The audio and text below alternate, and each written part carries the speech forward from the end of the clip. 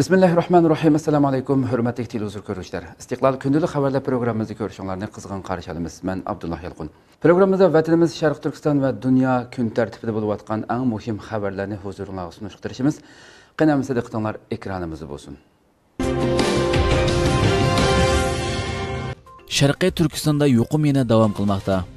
Atalmish Uyghur avtonom rayonluq sahya saqliqni Saqlaş komiteti bugun e'lon qilgan eng yangi uchurda bildirilishicha Sharqi turkistonda xitoy virusi bilan yangidan yuqumlanuvchilarning soni 13 ekan. 10 avgust soat 0 dan kech saat 24 ga qadar sharqiy turkistonda yangidan 13 kishi xitoy virusi bilan yuqumlangan yangidan alamasi yuqumlanuvchilar 11 bo'lib ularning hammasi urumchida ekan 13 bemorning ahvoli xatarlik, 26 bemorning ahvoli og'ir ekan. Sharqiy Turkiston bo'yicha yuqumlanuvchilar 567, Urumchida 564, Qashqarda 1, Sanjida 1, diviziyada 1 ishgan. Sharqiy Turkiston bo'yicha kasallik alomati ko'rilmagan yuqumlanuvchilar jami 131 bo'lib, Urumchida 130, Sanjida 1 ishgan. Salomatlik asliga kelgan bemorlar 223 ga chiqqan. Sharqiy Turkiston bo'yicha ayrib ko'zilayotganlar jami 15658 ga tushgan.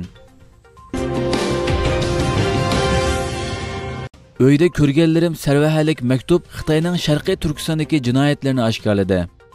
10 avgust Sharqiy Turkiston axborot va media agentligi jamiyati istiqlol bo'limiga kimligini oshkorlashni xohlamagan bir kishi tomonidan avatilgan Öydə ko'rganlarim sarvahalik maktub Xitoy tajovuzchilarining Sharqiy Turkistonda yurgizayotgan bostirish va madaniyat qirg'inchiligi qilish jinoyatini oshkorladi. Maktubda Xitoy tajovuzchilari xalqaro jamiyatning ko'zini bo'yash hamda aldash uchun er ayol Uyg'ur artistlarga duppa, atlas kiyim kiygizib, har qaysi davlatlarga ilib berib, Uyg'urlar baxtli yashayotidi. Har millat xalq ittifoq degandek yolg'on tashviqotini kuchaytirib, Sharqiy Turkistonda bo'lsa, muslima xonim qizlarga roman artmay do'ppiki deb erlarga salla o'rmay do'ppiki deb zo'rlagan Xitoy yo'l yo'llardagi to'saqlarda do'ppi kiygan kishilarni qattiq tekshirib do'ppilarni musodir qilganligini hatto yaqinda xitoy doiralari tuvanga tushirgan atalmish xizmat guruppasi maroqchilari yana xalqning uylarini oqtirib chiman do'ppa bo'lsin badam do'ppi bo'lsin sapoq do'ppi bo'lsin hammani qo'ymay musodara qilganligini oshkorlagan. Maktubda yana xitoy tajovuzchilari tug'ut cheklash siyosatini qattiq ijro qilishni davomlashtirib kelganligini doiralar o'rinlashtirgan qo'rchoq amaldorlar homildor ayollarni izlab tepib uyma uy orlab kelganligini ikki farzandi bor bo'lib homildor bo'lganlarni har bahonalar bilan jarimani qo'yib yoki jazolab tug'ilmagan to'ralmaganlarning jiniga zamon bo'ldiganligini oshkorlagan oldingi yillari xotin qashqar uyg'urlari beshidan o'tkazgan kamsitilish amdilikda sharqiy turkistonning boshqa rayonlaridagi uyg'urlarning beshiga kelganligini uyg'urlarning uy ichi va hovli oromlaridagi har xil chiroyli naqshlar yasalgan supalarni qaloq madaniyat ko'niliq deb kamsitib barliq supalarni chiqib tuzashga faqatla 10 kun vaqt berganligini Yaqinda Uyg'urlarning orasida har xil naqish, o'ymalar bilan nafis eshangan peshavallarni chiqib o'zgartgan. Degandek mishmish gaplar o'ttirg'a chiqishga boshlaganligini oshkorlagan. Sharqiy turkiston xalqining uzoq tarixdan beri davom qilayotgan islomiy va sharmiy hayoliq to'y maraka isl an'analarini o'zgartirish majburlanganligini ilgari to'ylarda biror mas kirib qolsa g'ulab chiqargan muhit tamoman o'zgarib to'yga mas kelmaganlarni qaloq deb masxir qildigan. Xalqimizni buzish uchun xitoy doiralari tuvanga tushirgan atalmish xizmat gruppasidagi maroqchilar maxsus aroq ichishga tashkillab to'yga mast holatida kelmaganlarni ayirib tortib chiqib haroq ishkizib ondan so'ringa kirgizganligini haydashchilik qilmasimi haroqni aktivlik bilan ichganlarni mukofotlaydigan holatga kelganligini kayib sapani yomon ko'rgan xalqimizni majburiy kayib sapaga ko'ndirayotganligini oshkorlagan Atosh Suntaqdagi Azna va Dastanka masjidining chiqilganligi oshkorlandi. Masjid chiqish to'lqini masjidlarni a'lolashtirish deb atagan va bu harakatning al jamoatining bexatarligi uchun ekanligini tashviq qilgan edi. Bu xitim yana Atosh Suntaqda qurilishi mustahkam bo'lgan Azna va Dastanka masjidi chiqilib, qurilishi ojiz tars masjidda quyib qo'yganligi oshkorlandi erkin osiyo radiosi muxbirining otish suntoqqa qarata ilib borgan telefon ziyoratlari davomida suntoqdagi bir kanat qurilishi mustahkam bo'lgan yana pishiq xish va simo taxtlardan yasalgan ozna masjid bilan dostonka masjididan chiqilib qurilish ojiz bo'lgan yana to'paton va yog'och bo'rilardan yasalgan tars masjidni quyib qo'yganligi oshkorlandi 2016 yılı ilib barğan məscid çıxış dolqunu yerlik ahalilərə məscidlərini əlalaşdırış deyə düşündürgən yıldakı aniqlaşdırığa asaslanganda Şərqi Türkistanda 70% məscidin çıxılıb bolğanlığı aydınlaşğan bolsunmu, amma qandaq məscidlərin çıxılıb, qandaqlarının saqlab qılınğanlığı məlum bolmagan. Sunta yezisining 5-kentidagi 3 masjiddan ikkisining chiqilganligi va birining saqlanib qolganligi ma'lum bo'lgan. Chiqildiganlari Azna masjid va Dostonga masjid deb atiladigan mustahkam masjidlar bo'lib, saqlanib qolgan qurilishi nisbatan ojiz bo'lgan teras masjidi ekan. Bu yezidagi bir amalliq modelining oshkorlanishicha, Azna masjid bilan Dastangan masjid ko'lami bir oz zo'r, tarixi biroz uzun va yeza markaziga yaqinroq bo'lganligi uchun chiqilgan. Tars masjidi sig'imchaligi bir oz kichik va bir oz chet yaqida bo'lganligi uchun saqlab qolingan. Ilgari kuzatuvchilar Xitoyning sharqiy Turkistondagi ko'p qism masjidlarni chiqib tashlab, oz bir qism masjidlarni saqlab qolganligi. Buni ibodat uchun emas, balki xalqaro jamiyatni aldash hamda faqat ko'rgazma qilish uchun saqlab qolganligi ilgari surilgan. Ma'lum bo'lishicha, Suntaqda chiqib o'tilgan Azna masjid pishiqish va simona taxtlari bilan qurilgan ekan. Dastangan masjidimi Azna masjidiga o'xshashlar ko'lami nisbatan zo'r va qurilishi mustahkam masjidlardan ekan. Amalliq mudirining bayonlaridan ma'lum bo'lishicha, masjidlarni ko'zini uzoqlashtirish va shaklga saqlab qolish uchun yuqorqi ikki masjidni chiqib tashlab, to'pa tam va xom kesaklardan qurilgan yog'och va bo'rlar yopilgan ters masjidlarni saqlab qolgan. Sharqiy Turkistonda ko'p sondagi masjidlarning chiqib o'tilganligi sun'iy hamradan tortilgan suratlar va boshqa hujjatli materiallar orqali oshkorlanib bo'lgan bo'lsa-mu, Xitoy ta hozirgacha masjidlarning chiqilganligini xalqaro jamiyatni yushurmoqda. Yaqinda Xitoy tashqi ishlar ministrligining bayonotchisi Sharqiy Turkistondagi masjidlar sonining Amerikadagidan ko'p ekanligini bozorga solgan edi. Ammo Sharqiy Turkistondagi Xitoyning qo'rchoq amaldorlari 2016-yilning oxiri Qashqar va Xotanlarda mahallalardagi masjidlarni chiqilib, bir kentda ba'zi joylarda bo'lsa, bir yezida faqat bir masjidning saqlab qilinganligini oshkorlab bo'lgan edi. Xitoy Amerika Kengash palatasining 6 a'zosiga embargo yurgizdi. 7 avgust Amerika hukumati 11 nafar Hong Kong amaldoriga embargo yurgizganligini e'lon qilgan edi. 10 avgust Xitoy buningdan o'ch olish uchun Amerika Jumhuriyatchilar partiyasidagi Marco Rubio, Ted Cruz, Tom Cotton, Pat Tomi, Josh Havli, Chris Simmons qatorliq 6 nafar kengash palata a'zosiga embargo yurgizganligini jakoladi. Xabarda aytilishicha, Xitoy tashqi ishlar ministrligining bayonotchisi Zhou Lijian Xitoy Amerikaning xato qilmishi uchun Hong Kong masalasida salbiy rol o'ynaydigan kishilarga embargo yurgizishni qaror qildi degan. Halbuki Xitoy bu qitim Donald Trump hukumatining hech qanday xodimga embargo yurgizmagan.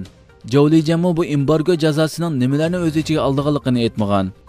Amerika prezidenti Donald Trump o'tgan juma kuni buyruq imzolab Hong Kong valisi Carrie Lam va Hong Kongning hozirgi va sobiq soqchi boshlig'iga embargo yurgizgan. Bularning Amerikadagi mol mulkini to'nglatgan hamda amerikaliklar bilan ularning savdo qilishini cheklagan edi. Ma'lum bo'lganidek, Amerika bilan Xitoyning munosabati Xitoy virus yomg'irgan mezgilida tiximi yomonlashgan bo'lib, Hong Kong masalasidan boshqa yana nurg'un masalalarda ziddiyatlari kuchayib ketgan. Bu bir qancha oydan beri Xitoyning Hong Kongdagi avtonomiya va demokratiyani yo'q qilishga urinishi nurg'un davlatlarning tanqidiga uchrag'achqa Xitoy bir tarafdan o'zini aqlasa, bir tarafdan Amerika hukumatini ayblab kelgan edi. oldingi oyda Xitoy Uyg'urlarga yurgizayotgan irqiy zulmni ayblab kelgan Marco Rubio, tetkiroz Semiz qatorli kishilarga embargo yurgizgan edi. Bu qitim ularga ikki qitim embargo e'lon qilgan. Bu cheklamaga ko'ra yuqorqi 3 kishi Xitoy davlatiga kirolmaydi ekan. 500 nafar dangdar shaxsning Xitoyga qarshi birlashma maktubini Isroiliya tashqi ishlar ministriga sunilgan. Pirosalam pochtasi to'rining xabarida bildirilishicha, 500 nafar sobiq parlament a'zosi, olimlar, san'atkorlar va boshqa dangliq arboblar Isroiliya tashqi ishlar ministri Gabi Ashkenaziga birlashma maktub sunib, Xitoyning kishilik huquq dafsanchiligiga qarshi aniq maydonini bildirishni talab qilgan. Mazkur maktubda Xitoy virusi haqida mundoq deyilgan. Xitoy kompartiyasi virusni yushirish siyosati yurgizib, bu virusning butun dunyoga yamrab ketishini keltirib chiqarib, insonlarning hayotiga, dunyoga, jumladan Isroiliyaning iqtisodiga og'ir ziyon soldi. Xitoy o'zining manfaatini deb butun dunyoga xavf yetkazdi.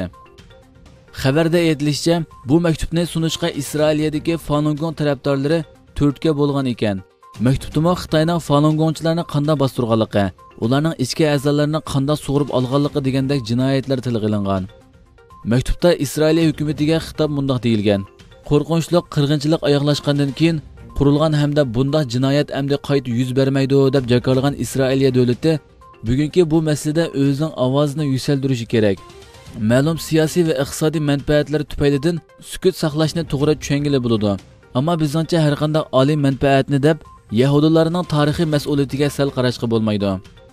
Maktubda xitoy bilan hamkorlashishning foydasidan zini ko'p ekanligi shunga isroiliyaning maydonini cho'qim uchuq qilishi kerakligini bildirgan.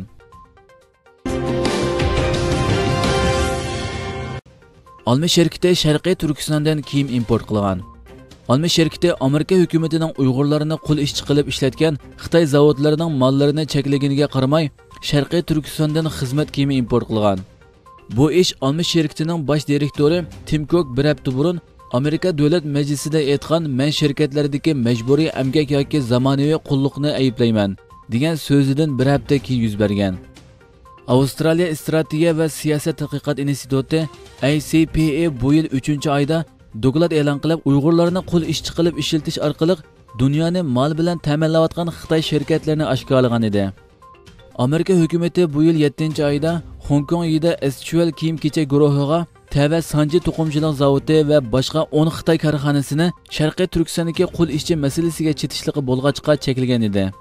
Xabarda aytilishicha, Olma shirkatining mazkur shirkatni kiyim import qilish pochta uchurlari orqali ma'lum bo'lgan. Hong Kongda kiyim kechak guruhi o'z surida Olma shirkatini asosli xaridor tizimiga kirgizgan bo'lib, bu tizimlik texi yaqingacha o'zgarmagan. Olma shirkatining bayonotchisi Yida guruhi Olma shirkatining bevosita mol ta'minlaguvchisi emas, mol ta'minlaguvchi sherkitimiz ishlatgan paxta guanju va Vyetnamdagi zavodlardan kelgan degan. Biroq u zavodlardagi paxtaning nerdan kelganligini oshkorlashni xohlamagan. guanju Xitoyning asosiy sherkatlaridan bo'lsa-mu, biroq u yerdan paxta chiqmaydi. Yida guruhining oshkora materiallaridami uning Vyetnamda paxtazorligi borligi haqida hech qanday ma'lumot yo'q ekan. Turkiya Turkcell shirkati Xitoy taraqqiyot bankisidan 590 million dollar qarz oldi. Turkiyaning telegraf aloqa gigantı Turkcell duch kelayotgan moliya qiyinchilik masalasini hal qilish uchun Xitoy bankisi Turkcellga 8 yillik muddat bilan 590 million dollar qarz bergan. Bu pul yevro va Xitoy xalq puli shaklida berilgan bo'lib, Amerika dollari ishlatilmaydi ekan. Asli qarz muddati 5 yillik bo'lib, agar 5 yilda to'lab bo'lolmasa yana 3 yil qo'shib berilgan. Ilgari turkcell xitoyning josuslik texnika markazi bo'lgan huawei bilan texnika uchur asliha va tarbiyalash sohasida hamkorlashgan edi. Hurmatli televizor ko'ruvchilar shuna qilib bugungi xabarlarimiz mushada oxirlashdi. Inshaalloh atigi programmamizni ko'rishguncha sizlarni janobiy allohga topshiramiz. Shuna qilib programma oxirida ekran orqasidagi barliq xizmatdoshlarimga ko'pdan ko'p rahmat aytaman. Assalomu alaykum va rahmatullohi taala va barakatuh.